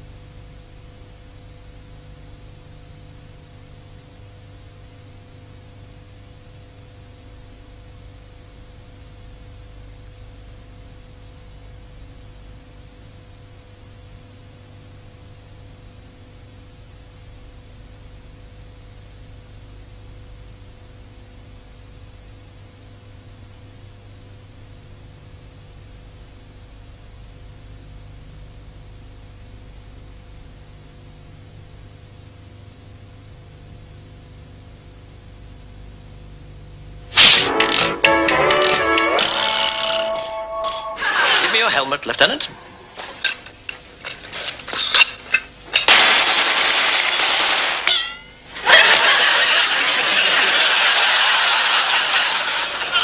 Yes, some sort of clever hat camouflage might be in order. So the answer was uh, it was shot at the uh, lieutenant's helmet. Blackadder 4 available on video next week. Uh, now, though, let's go right over to the Big Breakfast headlines once again with Peter Smith. The government is to cut the money given to the royal family and make the Queen pay income tax.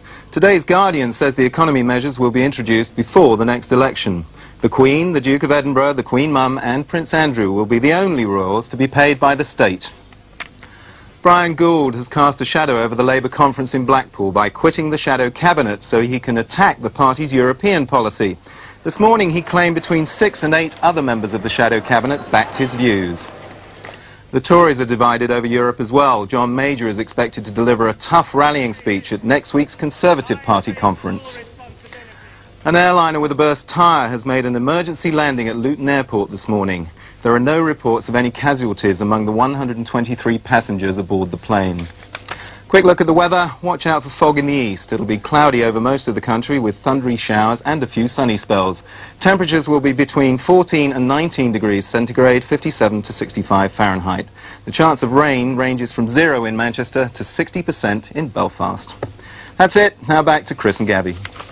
Thanks, Peter. Thanks very much indeed. Well, here I am with Stephen and Anthony from the uh, Molyneux family from uh, Maghull. And you've got a fax for us to read out here. Yep, dear Big Breakfast, welcome and good luck. You'll need it. Love TVN.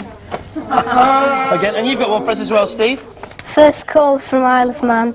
Best wisher is Alex Cowley. Okay, we've got our first fax from the Isle of Man. You can fax us. If you can hear us or see us, you can fax us or phone us. Oh, that sounded quite nice, didn't it? Yeah. Uh, now, where are they doing uh, in the traffic jam? Because it's time once again to say, Where are you, Mark? Oh, well, I'm on the A58, which goes that way to Wetherby, that way to Leeds, and that's it, because it only goes two ways. And this is one of the worst traffic jams in the country, apparently. Um, what we're trying to do is find the worst traffic jam, and so later on I'll be giving you an address, address to write to. Not you two, I mean everyone else watching at home. And I've brought along some entertainment. If you could have a little sing along there, Trish. Earlier on you saw Swami Zaka, the bloke who laughs his head off because he's a bit mad, and uh, Roger Quick, who's from Leeds but plays Scottish stuff on the accordion. And this is Trish King. Where else but Leeds could you find a diva called Trish King? They're normally like Giovanni Scarlatti or something. All right, Trish? Hi. All right, uh, what we're going to do is try and get you into one of the cars, not for... Uh, not for any personal reasons, you know, just to cheer people up on the way to work. So if you can sing a bit, right. and we'll try and find someone interesting. But unfortunately, the traffic's moving just as we get to it. But if you could have a have, have a little sing while we're going, because it'll cheer me up as well. Do you know any Sham 69? All right, we're never going to find anyone now. Sorry about this. Maybe we should just stop the traffic anyway, because they're going to have to stop.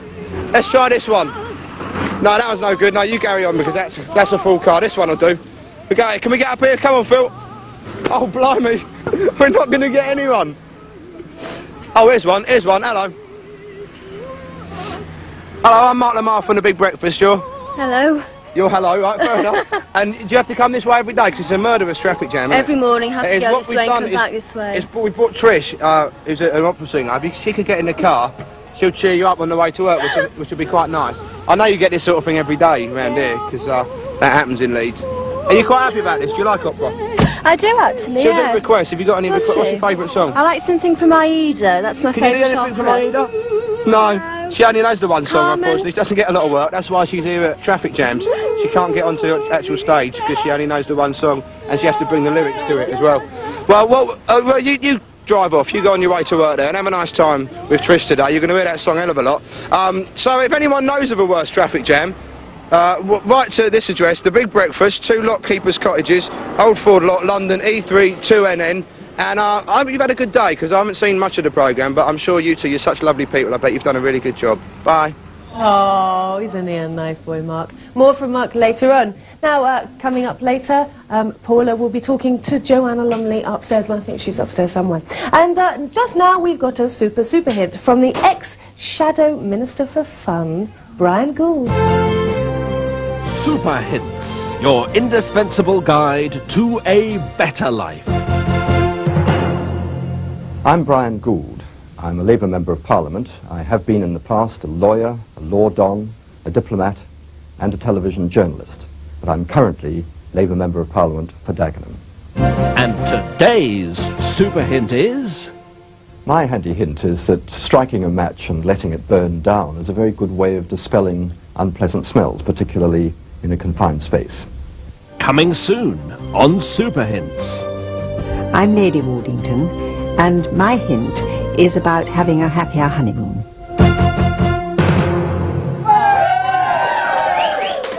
What a super, super hint that was. Uh, right, what time is it? It's 8.26, and coming up, we've got Guess the Mess, your chance to win wonderful CDs. Now, got a question about the clip. Watch the clues and try to work out the title of a well-known film from this mess. Do phone. This isn't just for fun.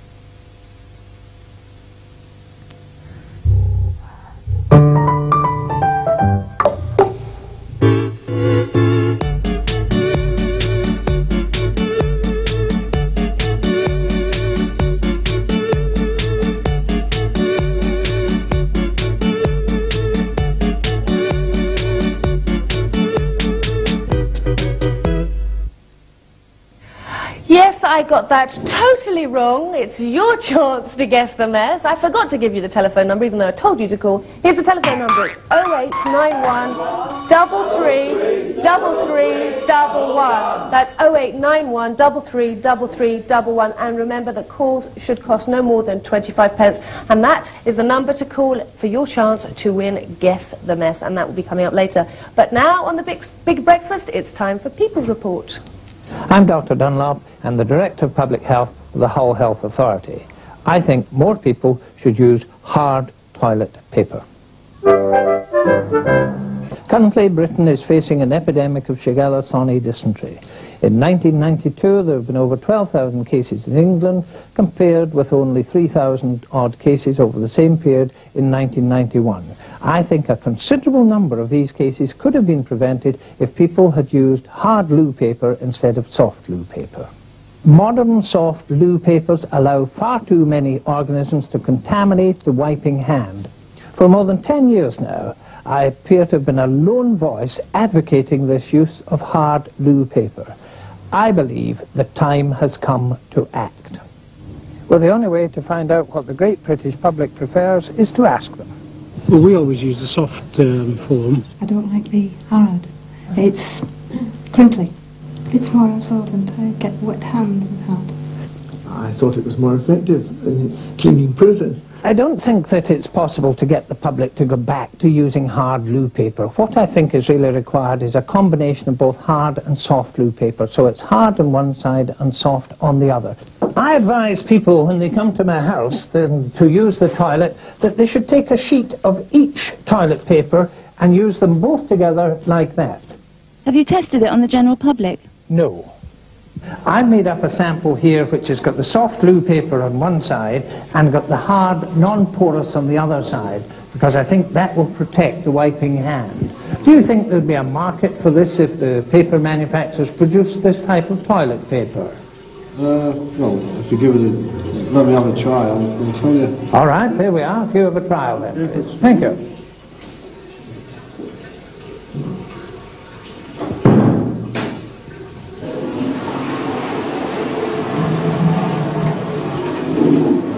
Well, what's the verdict, Gavin? Well, I think uh, you've got a good product there. Actually, it's um, it's fairly soft and it protects your hands with the extra, extra um, layer on the back.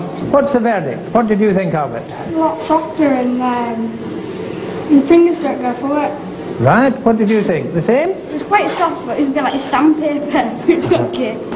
All right. Better paper. Like newspaper? Yeah.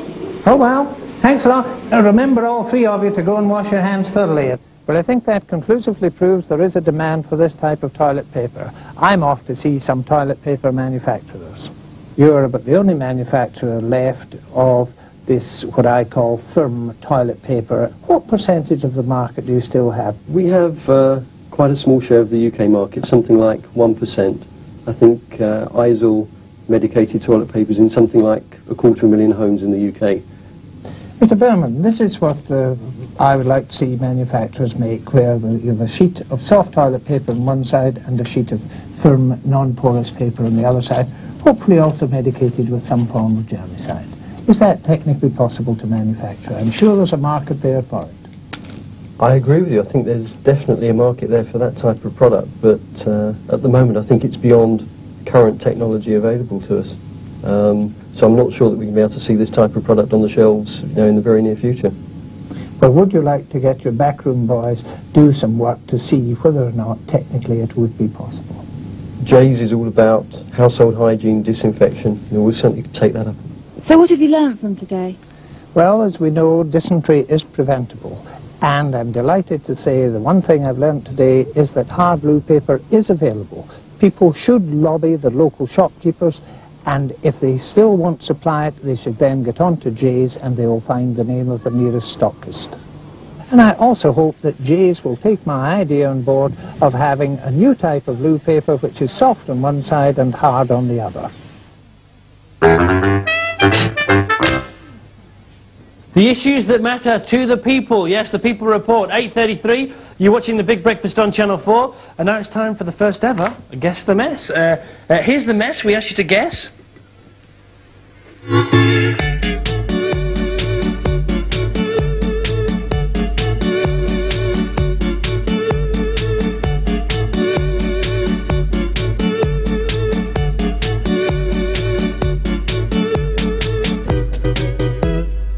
Now, I know the answer, and I still don't know how you get it from that, but somewhere in there is hidden uh, the name of a film title. And uh, we should have somebody on the, on the line now to play this. Hello, line one, hello. Hello, it's Gay from Norfolk. Hello, Gay, how are you? I'm fine. Are you enjoying the show? Yeah, it's good fun. Can you see me now? Yeah? Can you see me doing this? I can't hear you, but I can see you. Can you see me doing this? Yeah? Can you see me doing this? Yeah. Good. Okay, so what, what do you... I was, I was just eating a banana, actually. So, I, sorry, I'm not, I'm not ill. I'm eating a banana. Uh, so what do you think the answer is then, Gay? Lethal Weapon 2? No, you're wrong. Okay, so one CD for her, two CDs for line two. Line two, hello. Hello, line two. Oh, is anybody there? Hello? Hello, line two? Yeah, pity pity. Hello, line two. Yes, hello, who is it? Yes? Warren, hello. Where are you from? Winchester. Winchester. Okay, this is Winchester. Right, uh, how is Winchester today? It's raining. Is it really? Yeah. Good. And what do you think the answer is then, Warren? Fatal attraction. Fatal attraction? No, no, that's fine. Okay, have we got another call? Hello? Is anybody else there on line three? Hello, Hello, yes, hi. Neil Durham from North Berwick, Scotland. Okay, nice to see you in Scotland. How's Scotland today? Very, very misty. Okay, are you, uh, wh- when are you going out to work? Are you about to leave for work or are you working today or what? No, I work on an oil tanker, so I'm on leave at the moment. An oil tanker. And how long are you home for? About three months. Okay, well, this is the way to start your time off with the show. Enjoying the show? Yeah, not bad. Good, it's all right, better than TV-am. Uh, Say yes. comment. Say yes. Yes. Say okay. No. No, all right then. Okay, what do you think the answer is then? Lethal weapon. Yeah, but which one? We've had two. It's not two. Uh, three. Yes, it is! Lethal Weapon 3. That was Guess the Mess today. So you win three fantastic CDs to take back onto your, um, onto your tanker with you. Thank you very much for playing and you've won. Lovely, thanks very Okay, much. cheerio. Uh, now, it's uh, 8.35. Time moves on uh, on the Big Breakfast uh, because that's what you're watching on Channel 4. Gigantic! Massive! Enormous! Huge. Good morning, everyone. Make sure yours is big. Back in the kitchen with Stephen and Anthony, and uh, they're going to show me how to make jam tarts, because I hear you're a bit of a jam tart genius. Is that true? Yeah. All right then, what do we do? Well, first, um, yeah, sprinkle some flour on the work surface. Yeah. Then you sprinkle some flour on the rolling pin. Right. And if you don't have a rolling pin, a good tip is to use a milk bottle. Use a milk bottle if you don't... Milk bottle if you don't have a rolling pin. You all try and say that, it's very difficult. Right, and then you cut the and then pastry out. and then you cut the pastry out with um, a pastry cutter. And if you don't have a pastry cutter, you can get a, a glass and turn it upside down, and and then you can use the glass to cut it out. Hey, two hot tips from you. That's wonderful. And how about the, the jam? Once you've taken this out, what do you do with that? Well, um, unfortunately, we haven't got any. to- What? Yes. Any cake This bit I haven't been told. What's this? Unfortunately, we haven't got any cake tins. We haven't got so any cake have to tins. make it into a cup shape. All right, you make it into a cup shape. Actually, Anthony, um, what's your mum's cooking like? She's don't say a word, Karen. What's her cooking like? She's a good cook apart from um, when she cooks roast dinners. Why? What's wrong with her roast dinners? Well, me and Steve don't like them. You don't like them? Well, what's No. your favourite meal then? Um, Jam tarts. no? No? Anything Mum doesn't make. Nothing? Anything mum doesn't make, yeah. Anything mum doesn't make? Oh, Try to bribe them as well. I'm just going to open up the oven because I'm... um, here's some we've prepared earlier. Jam tarts, everyone. There we go, Liz. If you'd like to hand them, ar- no, excuse me, hand them around to everybody. No, yes, go on, you do it. Thank you very much. Okay, you carry on doing that, making your cup shapes, and uh, going into a break now. So here is the question about the clip. Why can't Jennifer Saunders get away with not drinking on holiday? The jam. For you, how can you make jam tarts without the jam? And remember, don't phone, it's just for fun. Madame. Mademoiselle, mademoiselle. I'm having a really healthy week this week, Perhaps I'm not eating and I'm not drinking. Right. And fruit, obviously, just eating fruit. Just eating fruit and not drinking. But you can't go to France and not drink.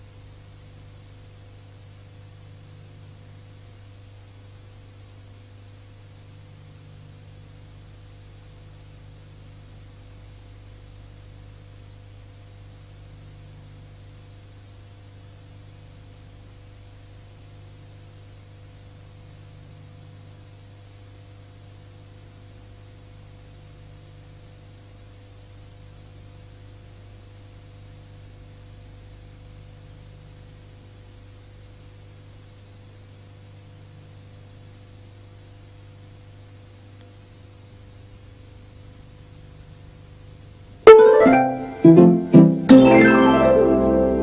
I'm not eating and I'm not drinking. Right. A fruit, obviously, just eating fruit. Just eating fruit and not drinking. But you can't go to France and not drink. Hmm? The shadow we're staying at's in the middle of a vineyard. The air alone is 15% proof. Oh, I drink just wine. So the question about that clip was, why can Jennifer Saunders get away with not drinking on holiday? Because the air alone is 15% proof, said Joanna Lovely. And that uh, is a clip from Absolutely Fabulous, which is the new BBC comedy show, starts on BBC One in November. A call from Emma Malone. Please read out her birthday wish to her mum, because she's got to go to school in 10 minutes. Sorry, haven't got time, Emma. Uh, right, it's time for the Big Breakfast headlines, the final ones of the day. It's uh, 7, 8.41, rather. Peter Smith.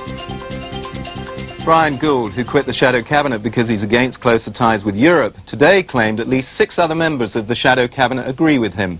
As the Labour conference opens in Blackpool, party leader John Smith is putting a brave face on the damage caused by Mr Gould's resignation. The government plans to cut the cost of the royal family. The Guardian says the Queen will start paying tax before the next election. And in future, only the Queen, the Duke of Edinburgh, the Queen Mum and Prince Andrew will get paid for official duties. The weather, dull, cloudy and wet over most of the country today with the odd sunny spell in northern England and Wales. Temperatures up to 19 degrees centigrade, 65 Fahrenheit. The chance of rain ranges from zero in Manchester to 60% in Belfast. And do watch out for fog. We're getting reports of a 40-car pile-up on the M18 in Yorkshire. Now a couple of stories happening later today. Princess Diana is visiting a day centre for the homeless. And watch out for more fireworks over Europe at the Labour Party conference. That's all the Big Breakfast news and weather for today. Now back to Chris. Hey! Yay, yay! Peter just telling us that it's a lovely day for the Labour Party conference in Blackpool, and uh, happy Blackpool to you, Labour people. Now, Steve's here, Steve Molyneux from uh, the Family of the Week, and he's fixed his doorbell. It yeah? should work, Chris, Okay, it should it, work. Okay, so uh, well, how, which tune have we got in, in well, there? Well, it's the 250th anniversary of the national anthem today, so okay. set it for God Save the Queen. Okay, just 25 different tunes, let's see if it works.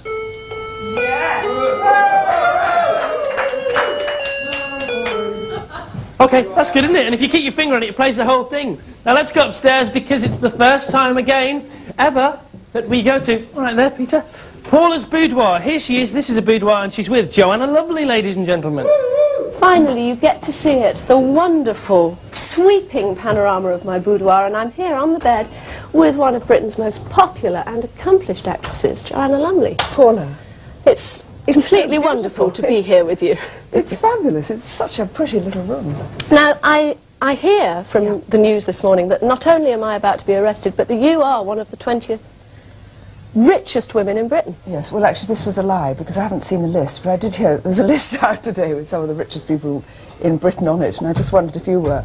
And I told you I was to make you feel happier, but... Um, I'm, I'm quite shocked, but I, actually I shouldn't be that you're so enormously rich because you're working so much, aren't you? Now, what are you doing at the moment? You're doing a play? I'm doing a play. It's not just kind of enormously rich play, but it's, uh, um, in, as far as paying goes, but it's, it's extraordinarily well written by a brilliant, brilliant writer called Bernard Kops.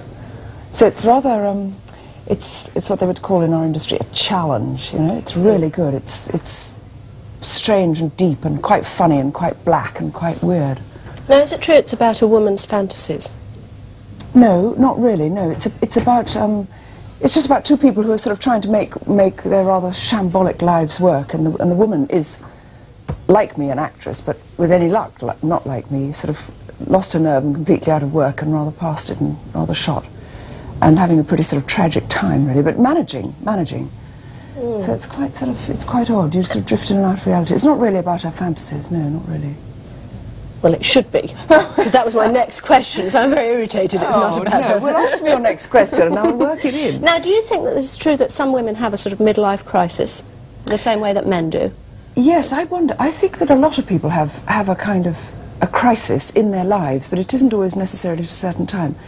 Probably, I suspect men might have it when they're in their middle or late 30s, funnily enough. And I think that um, all sorts of things in your life can trigger this off. And I think it could be much later than this, and it could be earlier than this. Quite a lot of people going, leaving home for the first time and going to college or school or starting work, quite often young people find a sort of weird black crisis comes up in their life and they feel very depressed. And sort of gloomy about things. Now, do you worry about sort of keeping fit and things like that? Do you feel no, that you have Paul, to put I don't. No, darling, do you? No, no, no, I don't no, at no, all. no. Do you still go I to the Himalayas? Well, when I can, I adore travelling. This year I've been lucky enough to get out to Syria to write a piece out there, and um, you know, always, always there are plans and hopes in the future, maybe to get to Bhutan, maybe to get to Tibet, or to learn more about Tibet, or to get up to that nor- that sort of region, region of northern India where I was born. And you don't worry when it's very, very primitive like that? It doesn't worry me, no. Does it you? I don't Yes. mind about that. I it don't- does you? I, I don't like where there's no English toilets. It bothers me enormously. you don't like squatting behind a rock? No. No, I don't uh, mind that. it Doesn't worry me a bit. No. Now, you're about to start again working on your comedy show. Yes. Is that fun to do? Yes, it's lovely. It's the, be- the best fun in the world. Jennifer Saunders, funny woman, told me to say that. Um, it's a very funny show. I just think people are just going to fall off their chairs laughing. We laughed a lot, so that's good. And so it's very nice that we've been asked to do it again. Do you think that, that people think that you really will be all jolly ho- hockey sticks, or do you think that they still imagine you're going to kick into the room like Purdey and land them a blow in the groin? You can't really blame people for expecting you to be what they last saw you on television as, if you know what I mean. Because television creeps in, and if they see you doing something, they imagine that's what you're going to do next. And if you're not that, then they go, oh, we thought you'd be this. But that, that doesn't really matter. I mean, this part isn't, isn't like any of those people. She's, um, she's, uh, she's very nice, really. Is she? Now, we'll be coming back to you in a second, but right now, Yeah. every day, if you tune in, you're going to be able to find out about a true life romance, the ups, the downs, the passions, everything about it. And today on Cupid's Arrow, we have the true story of Simon and Laura.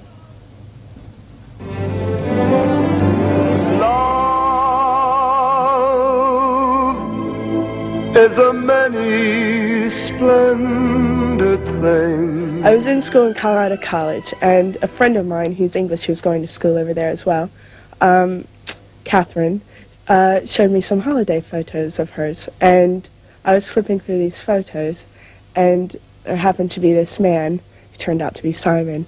And I just saw this picture. I said, oh my God, I could marry this man, as a joke, because he was so beautiful. I ended up, rather than approach Kathy straight away for the address, I sort of sneaked into her bag, got the address from her Filofax when she wasn't actually looking, um, scribbled it down, and decided to write to Laura. So out of the blue, this letter arrived, and I just thought, I'm going to kill her because she's told him.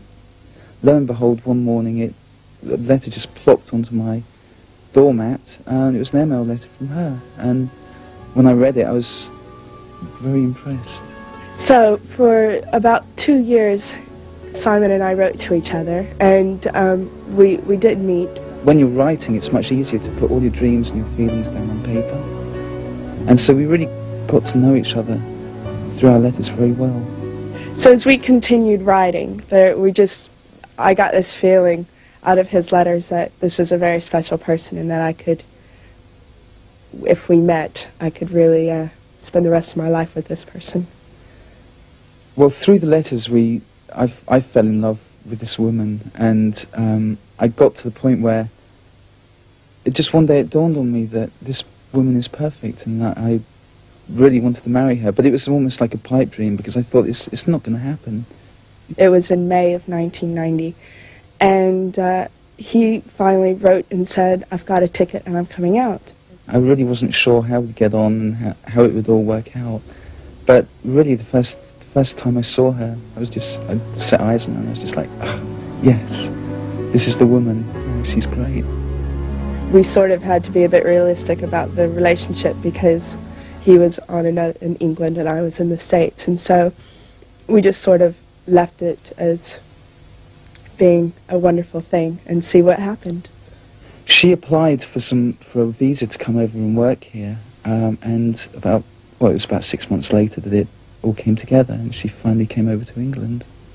I was able to get a six-month work permit, and uh, which would enable us to spend time together in England, and um, and it was very nerve-wracking. And I got over here, and and we just got on better and better as time went on, and uh, and at the end of the year, I had to go home because I couldn't afford to stay here anymore. So I, I decided the logical thing was to go out and spend a month or whatever whatever time I could out there with her and her family at Christmas. And on New Year's Eve, he he asked me to marry him, and I said yes without even thinking.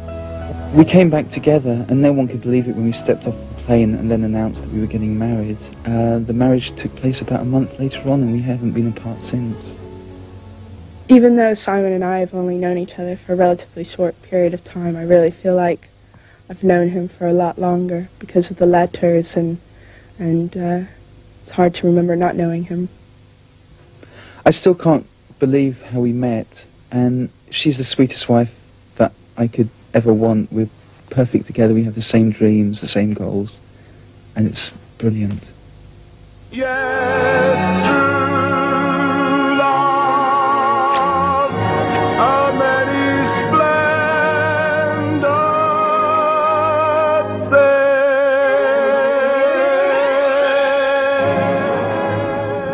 sweet, wasn't it? It's lovely. Ah, now, are you, what sort of qualities do you look for in a man? I think romantic is lovely. I think that's sensational. But I think I'd look for, I think I'd look for um, uh, honesty and good humour and a lot of nice things like that. That's not what we wanted. What did you want? I wanted you to say a scoundrel and a ca- now. If you want to um, send us your true romance so that you can be on the show, you should write into the Big Breakfast to Lockkeepers Cottages, Old Ford Lock, London E32NN. But now, thank you so much, Joanna, for being my first guest. It was completely thrilling. It's been It's lovely. been absolutely wonderful. And before we go, I have one question because you're not to ring up. This is just for fun. Who is the Max in the question? In question. I don't know what to do. Max?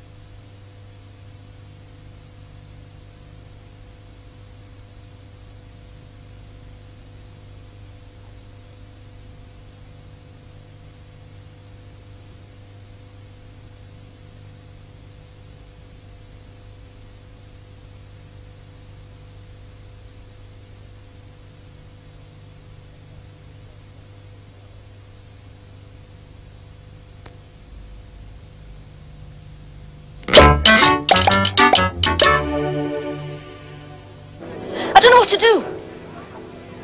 Max?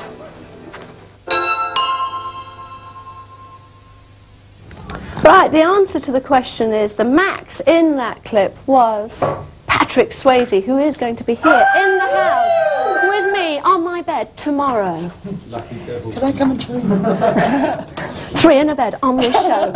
now, every Monday when you tune in, you'll be able to see the queen of competitions who's here with me now. She is, of course, Kathy Canterpowich. Now, why are you the queen of competitions?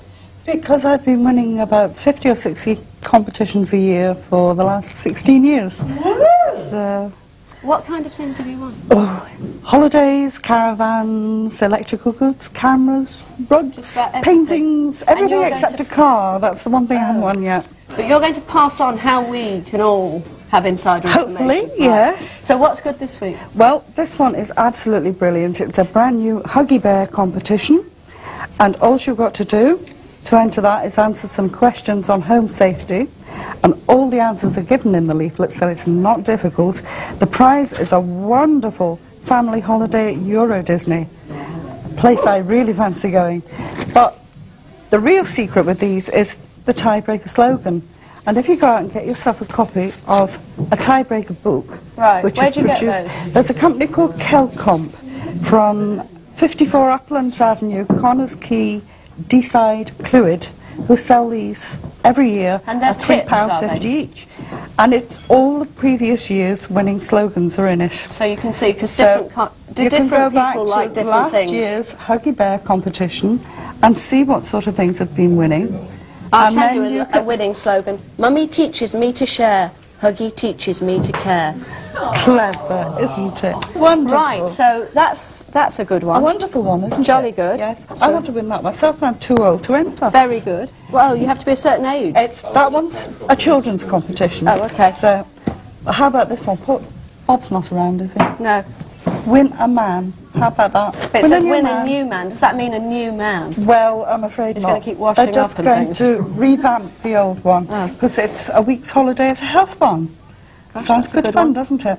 All you've got to do is work out an order of merit. There's seven items given there. Mm. What I would do, it's all about healthy living. So go through a health food book and it will tell you all the tips for healthy living. Just put them in the right order. And remember your once name and address. Write the slogan. Be careful to remember your name and address because a lot of people forget to put that in and of course they're eliminated from the start. We have to stop you. Oh, I'm what a afraid. shame. It's And yeah, we want more. We want to know how to win. I want to win that malt loaf. We'll leave her, we'll leave her, we'll leave her. Today was the day the Big Breakfast started and also the day that Bryan Gould announced his resignation as uh, the Minister for Fun, the Shadow Minister for Fun. Who else should resign? I think the whole of the cast of Eldorado should resign and take up acting maybe. I'm not quite sure. So uh, this has been it. It's time to say goodbye to the girls. Bye, girls. Bye Bye to the boys. Bye, boys. Bye. Bye to Zig and Zag. Bye. See you tomorrow. Joanna Lovely's there. I know. Do the coffee thing. Do that. Do it. Goodbye, Mark. Goodbye, Mark. Bye, Mark. We'll see you tomorrow on The Big Breakfast with Patrick Swayze. Lots of other stuff as well. Who? Ta-da. Who? Patrick Swayze.